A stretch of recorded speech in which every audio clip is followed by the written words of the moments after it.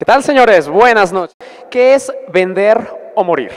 Eh, uno de los grandes tópicos que muchas empresas tradicionales y startups tienen es que todos piensan que la startup juega con reglas súper distintas, pero la realidad es que nosotros tenemos unas ciertas reglas que se parecen a las empresas tradicionales y este caso es la parte de los flujos de venta.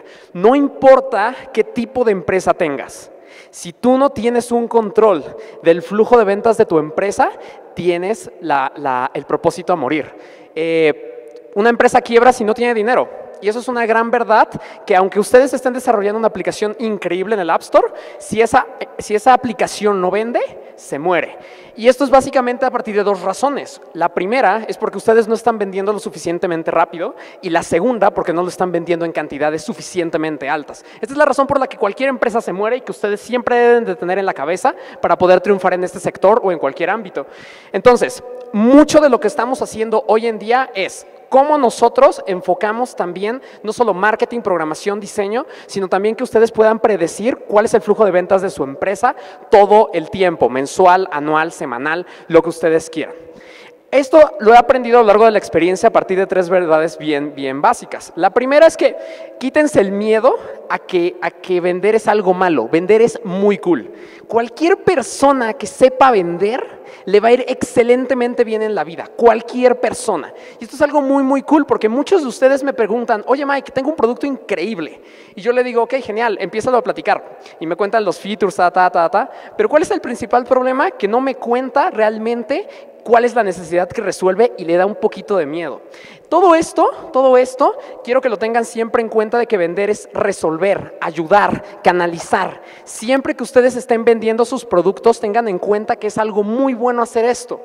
Eh, la verdad absoluta número dos es que si ustedes tienen un producto y no lo consumen, entonces significa que ustedes tampoco tienen la suficiente confianza para venderlo. Eso sucede muchísimo en varias empresas que les dicen, oigan chicos, eh, tú trabajas en área de ventas y necesito una cuota mínima. Aplicaciones, lo que ustedes quieran. ¿Qué es lo que ocurre? Que la persona no consume el propio producto cuando la persona no consume su propio producto, es muy difícil de vender. Y esto es una regla principal en cualquier, en cualquier empresa.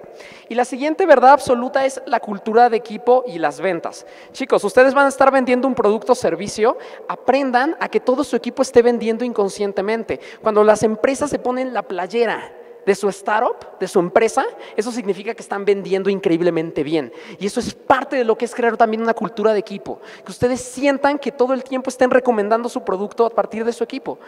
No importa, no importa en qué tipo, en qué tipo de área se encuentre su startup o esté más fuerte, ya sea en programación, en diseño, en negocios o marketing. Todo su equipo debe estar constantemente eh, vendido con la idea de que su producto es lo mejor, lo mejor todo el tiempo para que ellos lo puedan recomendar a todos sus círculos externos.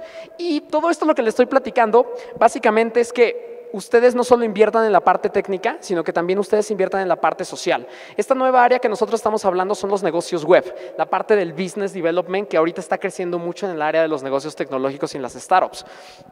Eh, quiero darles una verdad última, una última verdad bonus, y es que ustedes todo el tiempo deben de estar leyendo, estudiando y practicando todo el tiempo. Y esto se, hace 10 veces más rápido y más atractivo cuando lo hacen en comunidad.